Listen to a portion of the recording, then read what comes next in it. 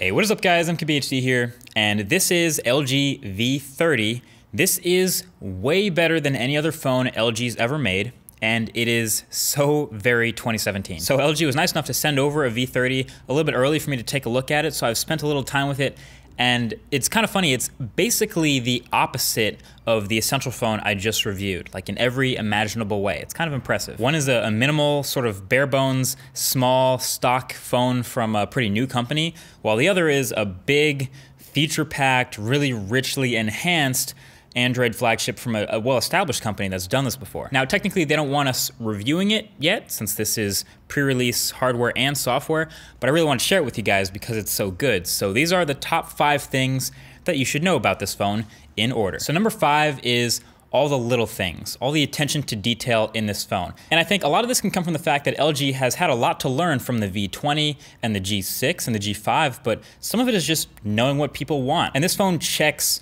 pretty much all of the boxes imaginable. It has expandable storage via microSD for those who like it. It has wireless charging. It has fast charging. It has USB Type C, of course. It has IP certified waterproofing.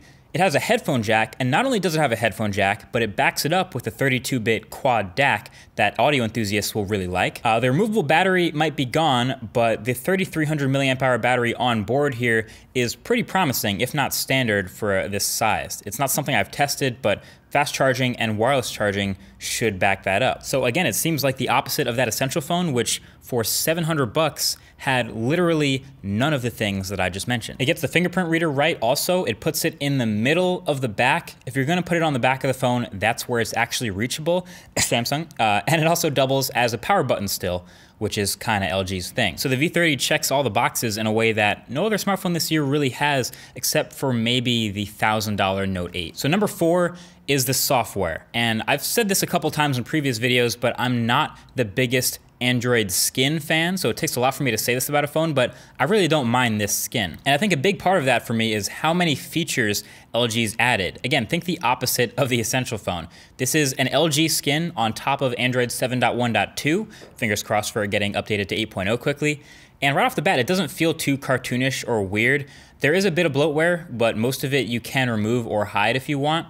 And performance is not only smooth, as you would expect, but like really fluid. High frame rate animations. Uh, you can't say that about every new phone with the skin, but yeah, it just buries so many features in the settings to mess with if you want. You know how previous V series phones, uh, the V10 the V20 had that second screen? Obviously, this one doesn't have that, but they do have this optional floating bar so you can bring it in from the edge and keep some app shortcuts there or your favorite actions, whatever you want. It's basically kind of like Apps Edge on the new Samsung phones. You can rearrange the buttons in the bottom of the phone in any order you want. So you can add or remove buttons, place it exactly how you want. If you take a lot of screenshots, you can add that capture button there. I'm happy to see that still exist. And there's all these smart settings too to adjust profiles basically based on different scenarios. So when you're at home, it might turn on Wi-Fi and Bluetooth and turn down the brightness and set your alarm. But when you get to work, it does something different. It has a couple themes built in too, and then of course a themes store if none of the built-in ones suit your fancy. So if you're into that, you can really make this phone look a lot different. So there's a lot going on here with the software. Obviously, because it's Android, you can use as much of it or as little of it as you want. So you might not be interested in any of the things I just mentioned, in which case you never touch them.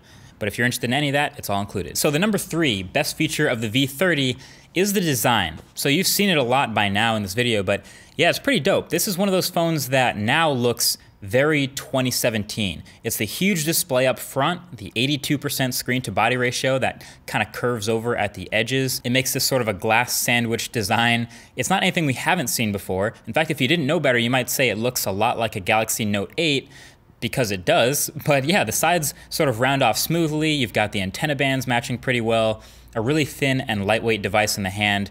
IP certified water resistant again, like the design is really complete. Uh, and this is sort of what you would expect when you put a dream phone together.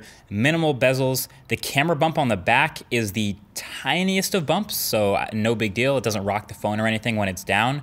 And the logos aren't too much of an eyesore either. Literally, my only real complaint with the design is I wish they put the headphone jack on the bottom. That's it. So everything else is props to LG. So then we get to number two. And the number two best feature on this phone is the display itself up front. This new screen is incredibly good. It's a 6 inch 2880 by 1440p OLED display. And it gets crazy bright. So I don't have a nits rating for it, but it is totally visible outdoors much more easily than most. And honestly rivals some of the best Samsung displays we've seen in the past year or two in colors and brightness and clarity and saturation. Now, obviously 2880 by 1440, that's an 18 by 9 aspect ratio, or as I like to call it since I learned fractions, 2 to 1. So it's a bit narrower than your typical 16 by 9. So when you're watching videos or using certain apps, sometimes gaming, you'll get these black bars on either side of the display. But again, it's not that big of a deal since it's an OLED and the black parts of the screen go completely blank. The viewing angles are pretty good. The curved corners are really great. I mean, this is an all around great display, and I think this is what would really put it on the map for me. If I hadn't seen this phone in person and I was just kind of curious about it and I saw this screen, that's why I would be interested in it. And then it would get me to the rest of the stuff. But that's just the second best thing. So to top that, the number one best feature on the V30 is around the back, and it's that camera, or those cameras. This phone sports dual cameras again, like all its older brothers.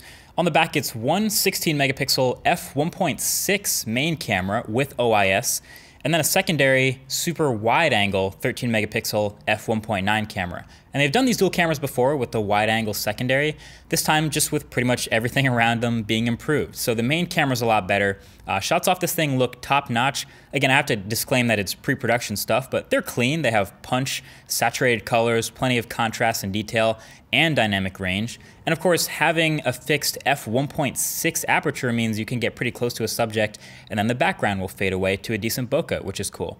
And then the super wide angle camera has less distortion than before, so less of that fisheye GoPro look and more of just a really wide angle rectilinear perspective, which is awesome.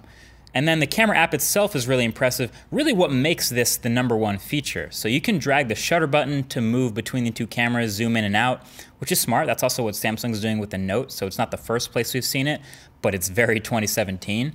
And it has your usual massive amount of settings, auto HDR, auto phone triggers, self timers, all that stuff. Uh, but then you look at all the modes. Look at all these modes in the phone. Auto mode is obviously the one that most people use, but enthusiasts will get into manual mode, manual video, time lapses, panoramas, slow motion, all that stuff. And then there's something called Cine mode. And when you turn on Cine mode, the camera records to a flat log color profile so you can maximize sensor data and dynamic range and then add color later. The Cine mode in this phone's video camera is literally made for people to import it from the phone and bring it to a computer and edit it later.